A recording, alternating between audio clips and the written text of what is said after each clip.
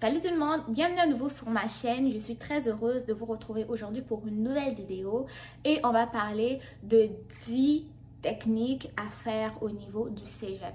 Donc, si tu viens de finir ton secondaire ou tu es un étudiant étranger qui prévoit suivre des études au Canada, tu veux aller au cégep, mais tu te demandes quelle technique faire, je pense que tu es à la bonne place. Ça, c'est la vidéo qui pourra t'aider à choisir une technique à faire au niveau du cégep. Premièrement, euh, je tiens à préciser que ce classement ou ce choix de programme est fait selon euh, ma propre... Euh, en fait, c'est moi qui ai fait ces dix... qui ai choisi en fait de parler de ces dix techniques proprement. Sinon, en dehors de ces dix techniques, il existe encore plusieurs autres techniques que vous pourrez faire au niveau du cégep. Mais moi, j'ai choisi ces techniques-là selon le taux de placement, ok? Que je ne vous dirai pas dans la vidéo parce que je veux pas que la vidéo soit longue et aussi euh, selon les possibilités d'emploi directement après la diplomation.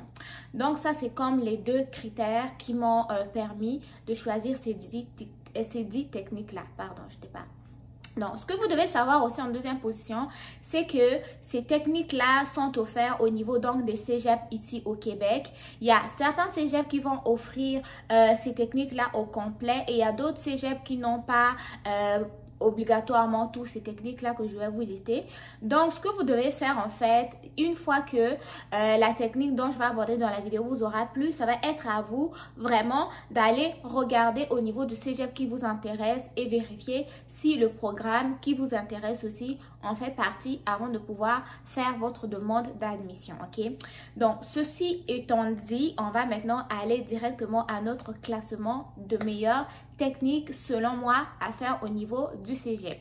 Donc, la technique numéro 1, c'est la technique en soins infirmiers. Pourquoi? Parce que c'est une technique qui est euh, très, très, très je sais pas comment, comment, comment la définir en fait.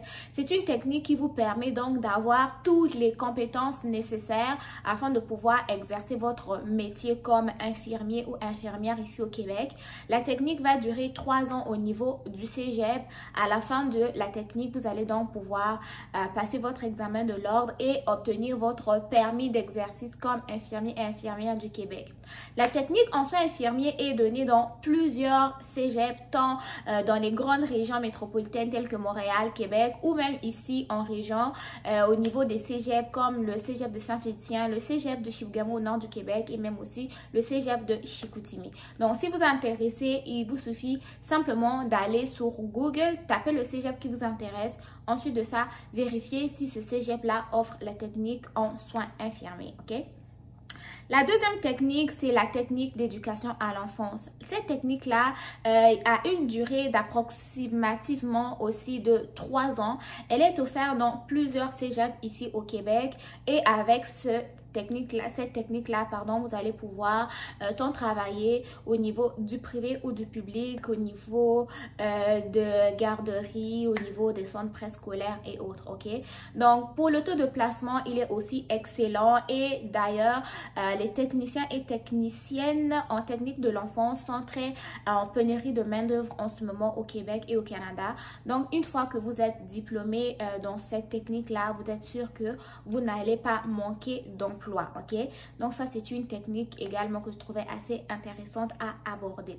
Ces techniques-là hein, sont offertes tant aux étudiants internationaux qu'aux étudiants canadiens ou aux étudiants résidents permanents, ok?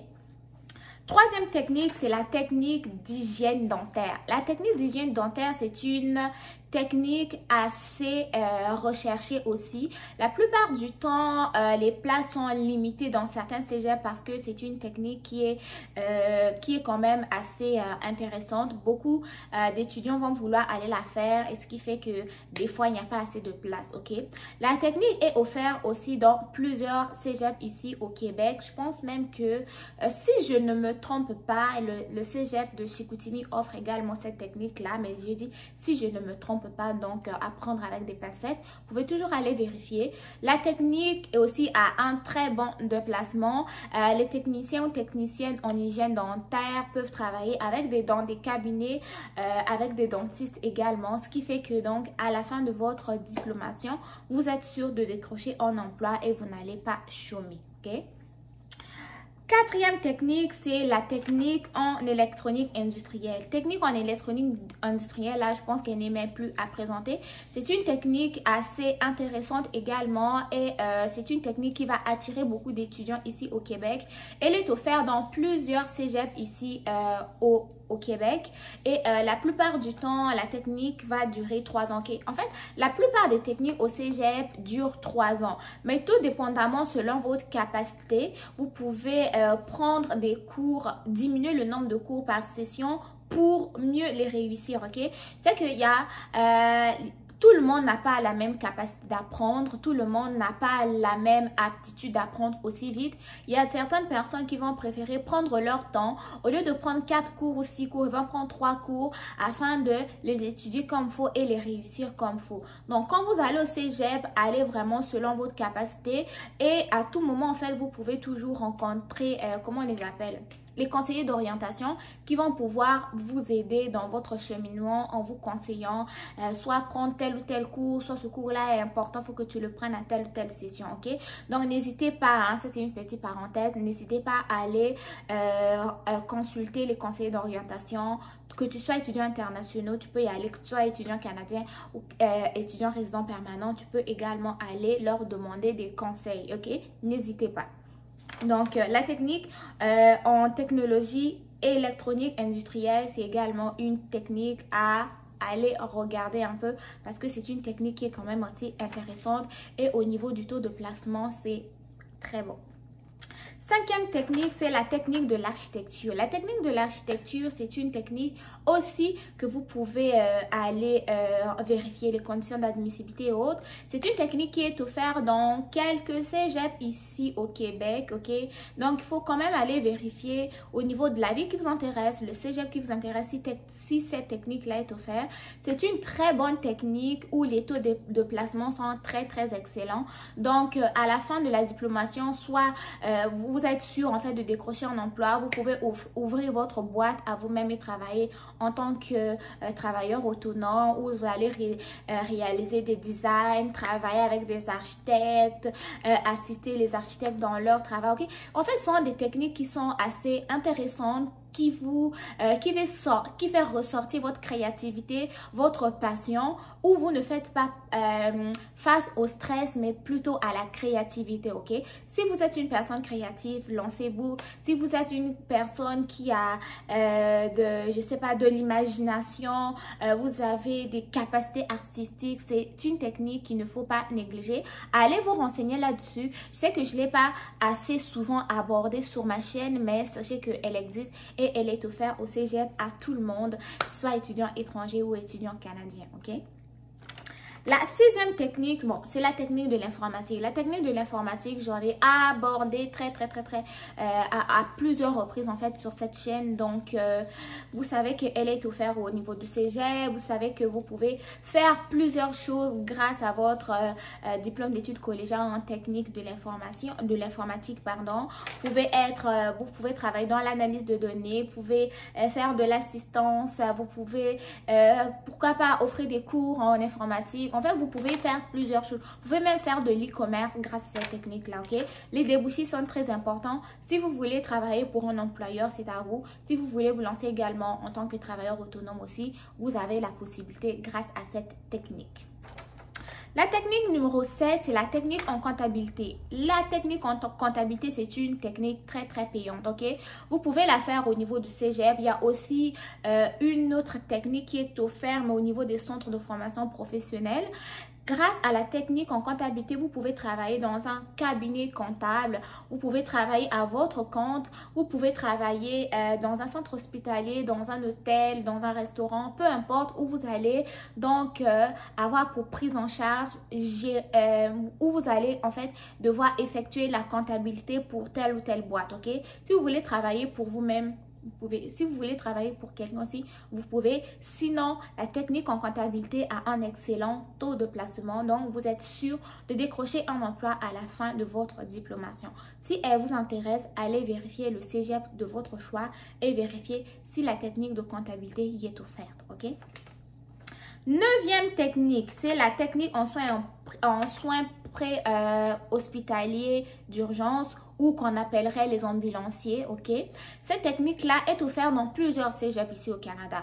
Les techniciens en ambulancier, c'est ah, je sais pas comment dire, ok? C'est eux qui vont venir vous secourir pendant l'accident, vous apporter directement à l'hôpital. C'est eux qui vont venir vous chercher à la maison si vous n'allez pas bien, vous appelez le 911. C'est eux qui vont venir vous chercher.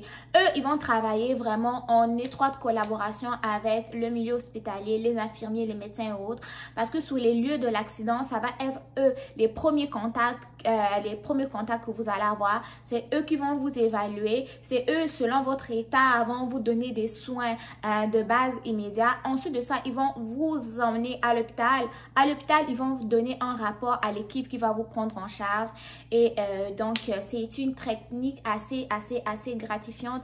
Une technique à ne pas mettre de côté ou si vous n'y avez pas pensé, je vous inviterai à aller explorer quand même cette technique-là. Elle est très enrichissante et surtout moi d'ailleurs, j'aime beaucoup leur uniforme, ok? Je pense que si j'avais pas fait la technique en soins infirmiers, j'aurais aimé ça faire une technique en, soins préhospitaliers d'urgence parce que euh, j'aime leur tenue et aussi j'aime l'adrénaline avec laquelle, la rapidité, la proximité avec laquelle ils travaillent avec les gens. Donc, euh, j'aime vraiment cette technique-là. Donc, allez vraiment explorer, ok? Si vous voulez des détails plus une vidéo plus élaborée sur cette technique-là, n'hésitez pas à me le dire dans les commentaires. Il me fera plaisir vraiment de faire une vidéo complète là-dessus.